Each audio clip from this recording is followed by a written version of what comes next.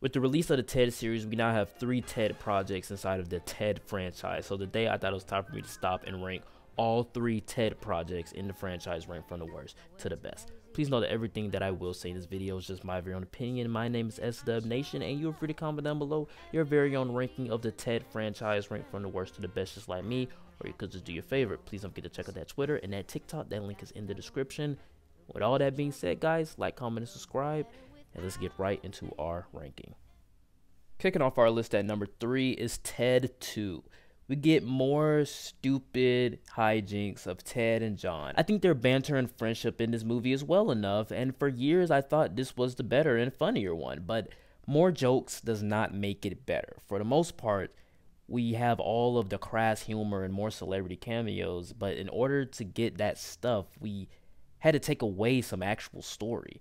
It goes from Ted's marriage to wanting to give Ted a child to Ted going to court. Then Hasbro gets involved, the guy from the last movie. And on top of this, John is reduced to the loser he once was before the ending of the last film, completely undercutting his arc. When it gets to the debate of if Ted is a human or not, it quickly becomes less interesting to me if the first film was live action Family Guy, the first couple of seasons where Seth was involved, this is that too.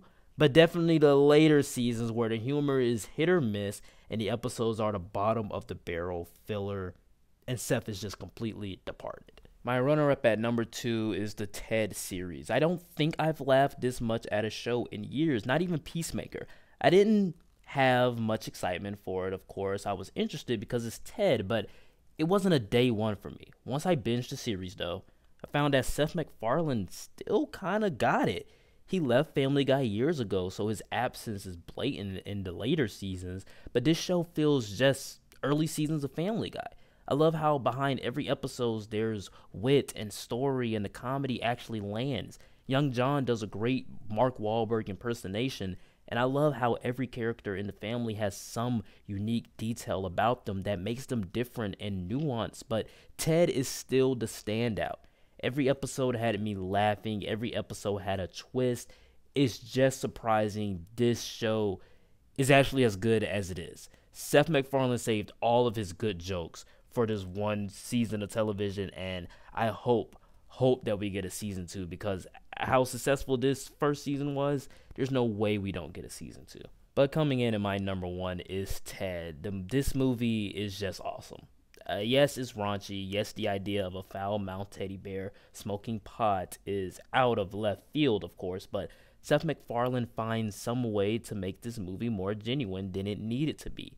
Ted is alive, yes, but he's actually a metaphor a living personification of John's childhood. And the way Seth kind of displays that on screen is incredible. Once his childhood dies, once Ted is ripped apart and his cotton is all over the ground, once his childhood dies, his fears go away. Look at this scene right here.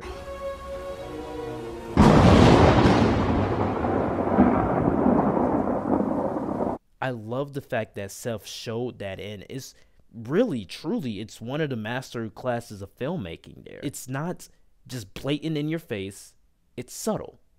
The bromance is well written and the comedy is spot on. And while this movie is just live action Family Guy, the story is weirdly poignant. It should not be as good as it is. The first Ted film has to come in at number one.